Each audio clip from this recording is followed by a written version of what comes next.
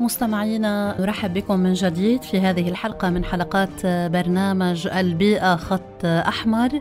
في حلقة اليوم مداخلات هاتفية مع اختصاصيين ومتابعين لهذا الملف. لنسأل عن مدى اعتماد الضرائب البيئية في لبنان عن الإعفاءات الضريبية التي تقدم للشركات التي تحافظ على البيئة وعلى نقاط أخرى مرتبطة في هذا المجال.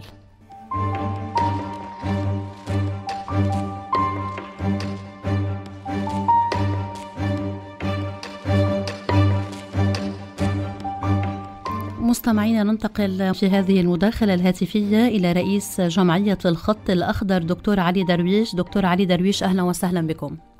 يعطيك العافية. الله يعافيك دكتور علي. في هذه الحلقة التي تحمل عنوان ادفع للبيئة سوف نتحدث عن الضرائب البيئية الإعفاءات الضريبية البيئية وعن هذا المفهوم هل هو مطبق في لبنان أم لم يطبق منذ سنوات. برغم وجود قوانين ومواد قانونية عديدة تشير إلى هذا الموضوع بطريقة مباشرة أم غير مباشرة. خليني آه، أبدأ معك دكتور علي درويش بالحديث عن مفهوم الضريبة البيئية آه، وانواعها قبل ما نحكي هل هي موجودة في لبنان أم غير موجودة. يعطيكم العافية الله يعافيك على تغطيه الموضوع المهم جدا. اليوم الضريبة البيئية هي الناس ما ترتعب يعني بيضيفونا شيء جديد هي مجموعة أو حزمه من الإجراءات التشريعية والمالية اللي بتهدف بشكل أساسي لتحسين الأداء البيئي في المجتمع ولتحسين الأداء البيئي للقطاعات الاقتصادية المختلفة. وهذه الضريبة اللي عم نحكي عنها أو الضرائب البيئية أو الرسوم البيئية هي مش شيء جديد بغالبها يعني بمحل ما طبقوها من دول ثانية بالأغلب ما كانت ضرائب جديدة ما كانت رسوم جديدة تفرض على المواطن إنما كانت تحديث وتطوير للنصوص والتشريعات البيئية الضريبية القائمة اللي بشكل تضمن العدالة البيئية وتحول العبء الضريبي لاستهلاك الموارد الطبيعية على من يستهلك أكثر آه، من غيره. يعني نعم. طبعا بيكون هناك حد أدنى من الاستهلاك اللي هو للطبقات الفقيرة والمعدمة طبعا مع ترشيد ومع تأمين خدمات أخرى ومن يستهلك أكثر على جميع الصعد يتحمل الجزء الأكبر من هالضرائب هذه اللي مثل ما قلت بغالبها مش جديد هلا وليش هذا الشيء اليوم نحكي عنه؟ لأنه اليوم أغلب أو كل نمط حياتنا الحديث يعتمد على موارد طبيعيه اليوم نحكي عن المياه عن الهواء عن التربة وعن الطاقة. كل هذه الاشياء هي موارد طبيعية تستنزف وتنتهي. يعني الاقتصاد اللي انبنى اقتصاد عالمي حتى اللي انبنى خلال 200 سنة قام على استهلاك غير مضبوط وغير مرشد واستهلاك مفرط للموارد الطبيعية اللي أدى فينا إلى تدهور نوعية هذه الموارد على المستوى العالمي بأشكال كبيرة. ولبنان مش بعيد عن اللي حصل بالعالم. يعني اليوم نحن لبنان مياهنا بغالبيتها ملوثه هوائنا ملوث تربتنا مهددة. كل يوم نسمع عن قصص جديدة كل يوم نقرأ بتقارير جديدة.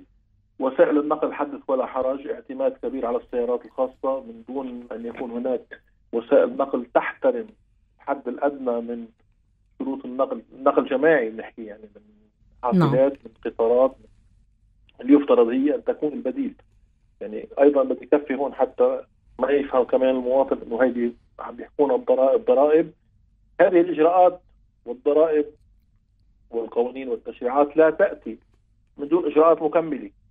على كل هالقطاعات اللي حكينا عنها. يعني اليوم إحنا ما فينا نيجي نقول له للمواطن أنت بدك تدفع ضريبة استهلاك أو تلويث الهواء لاستعمال السيارة الخاصة إذا ما كان هناك بديل اللي هي الحافلات النقل العام اللي هي برجع بقول تحترم حق المواطن في التنقل بشكل أساسي يعني ضمن يعني سياسه متكاملة تلحظ هذا الموضوع. اي طبعا طبعا. يعني اليوم المصانع اليوم استهلاك المياه كل هذه المواضيع إذا لم تكن هناك إجراءات مكملة وتحقق العدالة للمواطن لا يمكن أن تنجح عملية التكليف الضريبي البيئي بأشكالها المختلفة. نعم. ذكرت حضرتك دكتور علي درويش نماذج عديدة اليوم آه، يمكن آه، أن تنطلق آه، منها عملية فرض الضريبة البيئية اليوم. ما ممكن يكون في عنا ضريبة على الأملاك النهرية والبحرية العامة؟ ضريبة على الوقود ضريبة يمكن على من يمتلك أكثر من سيارة أو زيادة الرسوم على السيارات لمحركاتها تتسبب بانبعاثات مضرة للبيئة. اليوم نحن وقت اللي بنأمن على مستوى السياسات والتشريعات كل الوسائل والسبل التي تضمن للمواطن الحصول على حقوقه من هذه الموارد بشكل عادل بامكاننا تطبيق ضريبة البيئية بشكل أحسن. نحكي اليوم عن مياه الأمطار لأنه إحنا بلد معروف غني بالمياه. نعم. كل ما كبر حجم البيت وكل ما كبر حجم السقف بيزيد تدفق المياه إلى الشوارع وإلى أقنية الصرف، ولسوء الحظ بالفترة اللي تلت الحرب الأهلية صار ما عندنا قنوات تصريف امطار بشكل أساسي. انتهت قنوات تصريف الأمطار وصار التصريف كله سوى الصرف الصحي مع مياه الأمطار بأقنية واحدة وتذهب إلى البحر بغالبيتها. فهذا يسبب هدر كبير للمياه لعملية إعادة تغذية الطبقات الجوفية. وهذا ناتج عن الزحف العمراني، الزحف العمراني عشوائي وعدم تنظيمه وعدم تنظيم التراجعات وعمليات بناء تحت الأرض وكل هالأشياء هذه نعم. لو نظمت كان فينا نكسب على القليل نصف المياه التي تذهب اليوم إلى البحر مع كل ما تأخذه من تربه والجرافات وغيرها. فهيدا جزء كثير أساسي إذا عم نحكي عن صيانة الموارد المائيه، ولكن أنا عفوا وقت اللي بدي احكي عن الموضوع هذا بدي أمن البنى التحتية لهالشيء هذا. يعني أنا ما في اطلب من المواطن إنه يحول أقنية الصرف عنده نحكي بها الأمطار إلى شبكات غير موجودة ما في ما عمل محطات لمعالجه هذه المياه وعم نحكي عن محطات بسيطة لمعالجة مياه الأمطار وإعادة ضخها إلى الطبيعة. اليوم في دول أوروبية بدأت تحمل المواطن ثمن معالجة مياه الأمطار وإعادة ضخها إلى الأنظمة الطبيعية لإعادة تغذية المياه الجوفية. هذا الشيء بده يكون في له بنى تحتيه اليوم أنا ما في يحطها من دون ما يكون في عندي البنى التحتيه تاعولتها آه، موضوع المياه برك السباحة وطرق الري القديمة. اليوم اللي بده يعمل فيلا ويعمل مسبح يعبيه ثلاث أربع مرات بالأسبوع من آبار بده يتعلم أو بده يفهم إنه هذا الشيء هو استهلاك مفرط عن الاستهلاك العادي للإنسان وهذا الشيء يكلف ثمن المياه حتى لو كانت من بئر خاصة يكلف ثمن المياه ثلاثة أو أربع مرات إذا مش أكثر ثمن المياه التي تؤمن. وتعود هذه الضرائب شيء أساسي فيها هذه إنه هي مش ضرائب جديدة ولكن ضرائب معدلة. وتعود في غالبيتها أو في جزء كبير منها لدعم من يحترم الطبيعة ومن يستهلك أقل ومن يحترم الموارد الطبيعية ومن يقلل استخدام المبيدات والأسمدة الصناعية يعني كل هيدي مين تحديدا يعني يحدد عوائد هذه الضرائب آه. إلى من تعود؟ بالضبط، وعدد السيارات اليوم السيارة الثانية والثالثه اليوم العائلات لأنه ما في عندنا أنظمة نقل إيه؟ في عائلات تضطر إلى أن يكون لديها أكثر من سيارة نعم. نحن كيف بدنا نحده؟ مش بس السيارات مستهلكة الوقود وإنما عدد السيارات وأماكن ركن السيارات المواقف المرائد كل القصص هذه اللي هي تشكل ضغوطات إضافية على الموارد الطبيعية. كل هذه الأشياء اللي عم نحكي عنها مصانع معالجة النفايات، معالجة المياه المبتذلة حتى المواد الاستهلاكية، مواد التغليف، البلاستيك، كيس النايلون، كيس البلاستيك كله هذا. إذا ما كانت موجودة بالتشريعات وبدائلها ومن يتحمل هذه الكلفة وإلى أين تذهب هذه الضرائب بنكون إحنا عم نعمل شيء جزئي اللي هو لا يمكن أن يحقق الغاية المطلوبة. هذه النقاط موجودة في القانون اللبناني يعني تحديد إلى من تذهب هذه العائدات من يحصلها؟ لسوء الحظ لا. لا. كيف؟ يعني اليوم نحن شاهدنا بكثير من الأمثلة أنه العوائد الضريبية تذهب إلى صناديق وتخزن فيها وفجأة تستولي عليها دولة أو السلطة لصرفها في غير مكانها وهذا اللي صار بأموال الصندوق البلدي المستقل وصار بصناديق أخرى.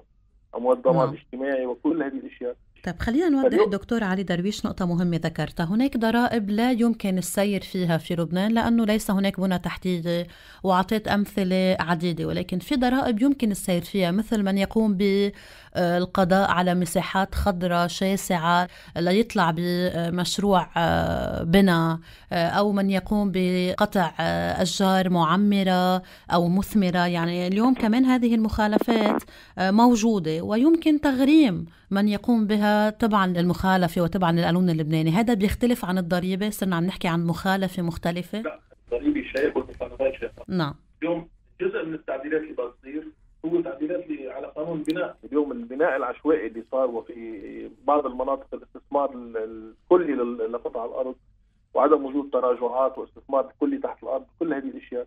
وجهت نمط التمدد العمراني إلى أكبر كمية من الربح مش أفضل كمية من الربح. وهذا الشيء طبعا بالإضافة إلى غياب تطبيق القانون. يعني اليوم اللي ذكرتيهم هن غياب تطبيق القوانين هذا لو حتى حطينا أحسن القوانين البيئيه إذا لم يكن هناك تطبيق للتشريع لا يمكن الوصول إلى الهدف المرجو. يعني اليوم في قانون 444 إنه الملوث يدفع. طيب شو يعني؟ وين المراسيم التنظيمية اللي صدرت من بعده؟ في قانون محافظة على المناظر الطبيعية تحديدا الأملاك البحرية واللي قطع التواصل الشاطئ وقطع المنظر عن الساحل قطع المنظر الطبيعي وهذا موجود بقوانين عمرها 100 سنة إيه؟ لا تطبق لأنه هناك أصحاب مصالح ومافيات وتشابكات مع السياسيين إذا لم يكونوا السياسيين هم أنفسهم من يقوم بهذه الأعمال ف نعم. إما هون نرجع للسياسي في دولة للجميع وفي اقتصاد للجميع إيه؟ إما أن تكون كما هي الحال اليوم يعني ثلثيني وكل واحد بيشتغل على راسه وهذا بيمرق لهذا نعم. وهذا بيمرق لهذا وإذا قصيت غابي معلش لأنه تعديل تصنيف الأراضي من زراعي إلى بناء وكل هذه ألعاب التحايل إيه؟ وهيدي موجودة لسوء الحظ بالنصوص ولكن القانون لا يطبق نعم اليوم دكتور علي درويش برأيك يعني القاعدة الفعالة أو الأكثر تأثيرا هي فرض ضريبة لمنع المخالفة أم فرض ضريبة لتمويل إجراءات الحماية أو التعويض؟ لا لا هني اثنين انتبهي يعني في شغلتين عم نحكي نحن عن إجراءات لتحسين الأداء البيئي المجتمعي والاقتصادي إيه؟ واللي هي تحوير بعض الضرائب لخدمة الموارد الطبيعية هذا واحد ومن يخالف يدفع أكثر. يعني مش إنه أنا والله إذا جيت عملت واجبي ما بدفع ضريبة. لا في حد ادنى من الضريبة رسوم شو بدنا نسميها تدفع. هذا بأساس بناء الدولة واقتصاد الدولة. يعني اليوم ما بقى في شيء يتامن ببلاش. يعني المي اللي كانت تيجي على النبع من زمان يروح واحد يعبيها ما بقى موجودة. بده يكون نعم. في شبكة مياه تزود المنازل بالمياه. طب هذه لها كلفة وكلفه الصيانه مين بيدفعها؟ وهون اللي قلت لك إنه من يستهلك أكثر يدفع أكثر. نعم. وإضافي يعني مش إنه والله اللي بيستهلك متر مي واللي بيستهلك مترين بيدفع الضعف.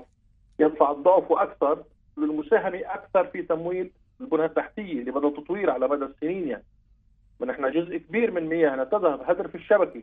وتقول مصالح المياه ومؤسسات المياه إنه 40% من المياه تذهب هدرا في الشبكات. عرفت كيف؟ يعني اليوم نحن كل ما نضخ بالشبكة 40% بيروحوا ما حدا بيعرف وين. نعم. وهذه بسموه هذا الفني.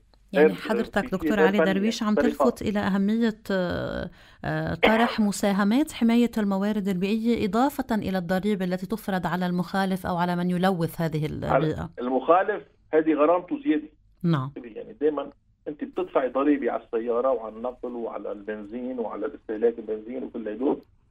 بس إذا جيتي خالفتي هذه مخصصة هذه شيء ثاني يعني هذا نعم. عامل إضافي. اليوم وقت أنا بقول لهم للمصانع بدك تشجع عملية استرداد العبوات كان في مرض ثقافي على ثلاث عقود من الزمن إنه اشربها وكبها. صحيح. إيه؟ بينما كانت قبل في رهنية على القنينه وبتدفعيها وترجع تسديها إيه؟ مرقت ثلاث عقود من ثقافة مختلفة تشجع على الاستهلاك وقت إنتاج النفايات. اليوم من يجب أن يتحمل هو من ينتج هذه النفايات. لاستردادها وإعادة تصنيعها أو إعادة استعمالها وكل هذه الطروحات التقنية اللي عم نحكي فيها. نعم مثل موضوع كيس النايلون اللي بنشوفها ببلاد برا إيه، إنه يدفع ضريبة على الكيس ببلاش. بكثر منه. وقت اللي بصير يدفع حقه 1000 ليرة. إيه، ساعتها بضب إيده. بصير بياخذ كيس القماش معه من البيت ببطل بالضبط. هيدي هيدي وحدة من العناصر. بياخذ كيس النايلون بيستعمل الكيس لقدراته. يعني قد ما بيقدر يتحمل بياخذ أكياس مستعملة اللي عنده من البيت بلاستيك. هو حر يعني هون بس في لما بصير في حافز مادي عنصر محفز مادي بصير الموضوع مختلف. برأيك دكتور علي درويش لما نبلش ندفع مقابل آه، ما نستهلكه من موارد البيئة بيتغير سلوك المواطن؟ تلقائيا على مر السنين بيتغير. يعني اليوم نحن على سوء الحظ برجع هذا مجتمع تعرض إلى أكثر من 30 سنة من من عملية تغيير بعقليته وطريقة تفكيره ووعيه وكل هذه الأشياء على مدى 30 سنة بنمط مختلف.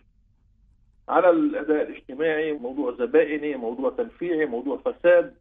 يعني كل هذه الأشياء إذا ما بلشت اليوم وصرنا فيها على سنوات مع ضوابط مع تشريعات مع حوافز حتى تقولوا العالم إنه دائما دائما عم توجعونا. لا في حوافز بتكون.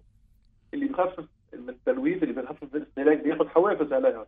اللي ما نعم. بينزح على المدينة وبيتمسك بأرضه وبيزرع فيها وبيعيش تحت نمط أو تحت مستوى العيش في المدينة. هذا الدولة لازم تقدر له إياها وتعطيه محفزات لأنه حافظ على التوازن الاجتماعي وعدم تسبب اكتظاظ بالمدن. مش إنه هذا اللي قاعد بالريف نحن بنهمله ونتركه وإذا فقر معلش يعني. نعم. برجع بقول لك هذه شبكة كبيرة من عمليات التنظيم اللي تحتاج إلى سنوات لبنائها. ونحسن حظنا إنه في دول بلشت قبلنا وجربت صار في عندها كثير خيارات فنحن ونقدر نستفيد كمان من تجارب هذه الدول؟ نستفيد من تجارب الدول وبنمشي فيها لقدام يعني ولكن الهدف برجع بقول نحن اليوم بالإضافة لعملنا البيئي نحن بحركه سياسية اسمها مواطنون ومواطنات في دولة نطمح إلى مجتمع متماسك إلى اقتصاد متماسك إلى دوله فعليا تحمي مجتمعها وتحمي اقتصادها تحمي المجتمع من خلال اقتصاده ومن خلال السياسات اللي بتحطها. نعم. وهذا مش بس على قطاع البيئة اشياء ثانية ولكن قطاع البيئة اليوم هو القطاع الأساسي بالحياة. لما الهواء ملوث من يدفع فاتورة الهواء الملوث في لبنان؟ من يدفع الفاتورة الصحية؟ عم ندفع الفاتورة للأسف من صحتنا وسلامتنا وأعمارنا. تكون على مسؤولية الدولة موازنة الدولة ومال الناس طبعا بالإضافة للأموال التي تدفع من جهات سياسية مختلفة وخليني شبكات دينية وغيرها ولكن ما في أنظمة تنظم عملية تلويث الهواء تخفف منه تدريجيا إلى الحدود المقبولة نحن في دراسة عملناها فوق 15 سنة. وهناك نعم. دراسات أخرى تقول أن الخسائر الناجمة عن تلوث الهواء في لبنان والفاتورة الصحية فقط تفوق ال 250 مليون دولار سنويا. بدا عم بحكيك بال 2005 طب نحن اليوم 2021 وما تغير شيء بلبنان إلا إلى الاسوء صحيح. إيه؟ طيب. تلوث المياه تلوث الموارد المائية. الملوثات اللي تنتج عن المولدات المنتشرة في الأحياء. نتيجة غياب سياسي لإنتاج الطاقة. وكلنا بنعرف ليش بالسياسة. وعدم الدخول في نظام الطاقة المتجددة. اللي حتى إجت شركات عرضت إنه هي تبني وتستثمر. نحن حتى هذا ما عرفنا ننظمه نعم. يعني حتى هذه الشركات يفرض عليها ضرائب وتدفع للخزينه نعم. ولو أنها تستثمر ونحن فينا ننظمه بشكل يضمن مصالحنا. نعم. لنخفف التلوث والخسائر الناجمة عن استيراد المحروقات اللي نحن مش عم ننتجها اليوم. وكمان كلنا بنعرف قديش عم بيصير صفقات فيما يتعلق بالمحروقات. ونوعيه المحروقات كان نعم. بنزين ولا فيول اويل وغيرها شكرا لك دكتور علي درويش طبعا اليوم الخطوة الأولى تبدأ بإعادة النظر بالأداء آه، أداء الحكومات والجهات المعنية بكل الملفات البيئية التي صحيح. آه، جرى يعني إدارتها منذ سنوات آه، لليوم الهدف الأساسي هو بناء دولة عادلة تضمن للإنسان حياة كريمة نعم إيه؟ ومش رح نقول تعمل مثل روبن هود بس إلى حد ما تأخذ من المقتدر لأنه يسرف ويستهلك أكثر وتعطي يعني تؤمن مستوى العداله بين المواطنين. صحيح. شكرا لك. رئيس جمعية الخط الأخضر دكتور علي درويش أهلا وسهلا فيك.